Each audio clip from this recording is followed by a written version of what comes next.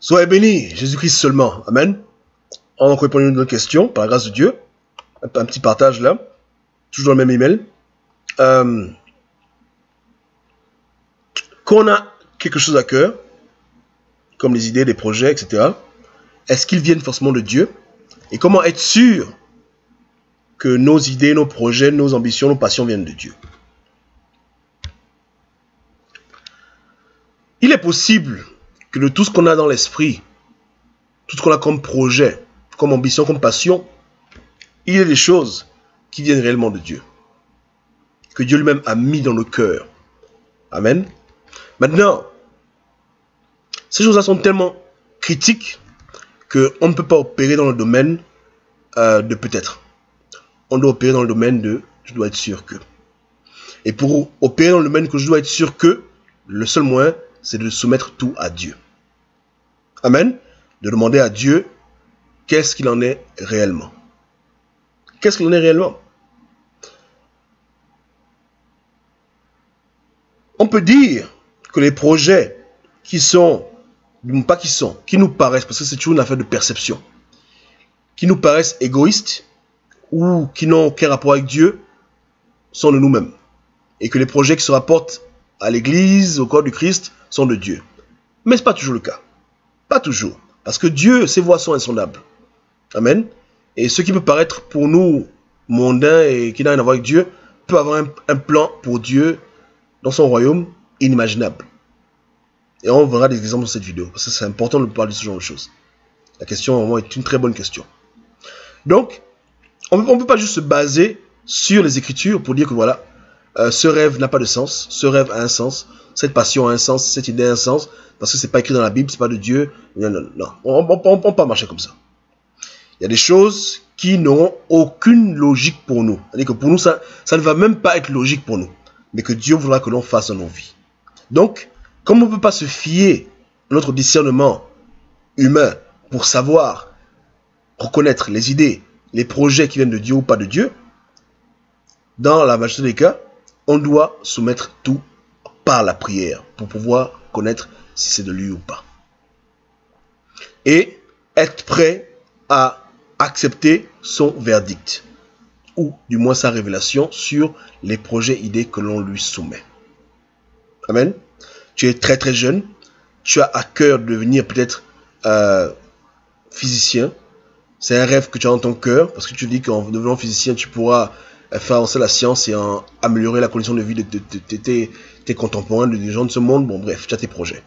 Amen. Ou tu, voulais construire des, orphelinats en Afrique, euh, dans les pays ou des pays du, Maghreb ou dans le monde où il n'y a pas beaucoup d'argent, les gens souffrent. Tu voulais construire des choses. Tu as, tu as des projets, bien. Tu as des projets qui te semblent à toi personnels et des projets qui te semblent à toi euh, divins, divinement inspirés. Mais à la fin de la journée, Dieu seul te dira ce qui est et ce qui n'est pas. Pour toi. Parce que il n'y a rien dans l'absolu. Mais il y a des projets qui sont focalisés sur ta vie et ta relation avec Dieu. À un, Dieu dira, écoute, le projet que tu as de construire un hôpital, c'est moi qui te l'ai mis à cœur, ou c'est un projet que j'approuve, que je veux que tu fasses maintenant, tu le fais. Il n'y a pas de problème. À d'autres, te dira, non, je n'ai pas pour toi des projets de construire des hôpitaux, de, construire des orphelinats, mais j'ai pour toi le projet d'aller, par exemple, euh, ouvrir... Euh, une entreprise, ou bien aller euh, quelque part et creuser un trou sous la terre. Et, tu dois obéir. Et Dieu a un plan. Amen. Ou écoute, va dans la forêt et sous chaque arbre, creuse et met, met en bas une Bible et met en bas de la nourriture. Voilà ta tâche que tu dois faire sur terre. Voilà ton projet. Tu dis, Seigneur, ça, je ne comprends pas. Il n'y a rien à comprendre. Il t'a parlé, tu obéis. Amen. Donc, il n'y a que Dieu qui sait. D'où l'importance, l'importance de communiquer avec lui. Toutes ces vidéos à la fin, on se rend compte que le point culminant, comme j'ai dit tantôt, c'est vraiment la communion parfaite avec Dieu. Pouvoir écouter sa voix afin qu'il te guide. Amen. Et dans le cas échéant, il faut absolument qu'il te dise. Il faut. Un projet peut te paraître bien, louable, divin, mais peut être devant Dieu une abomination totale. Et je vous assure que c'est possible.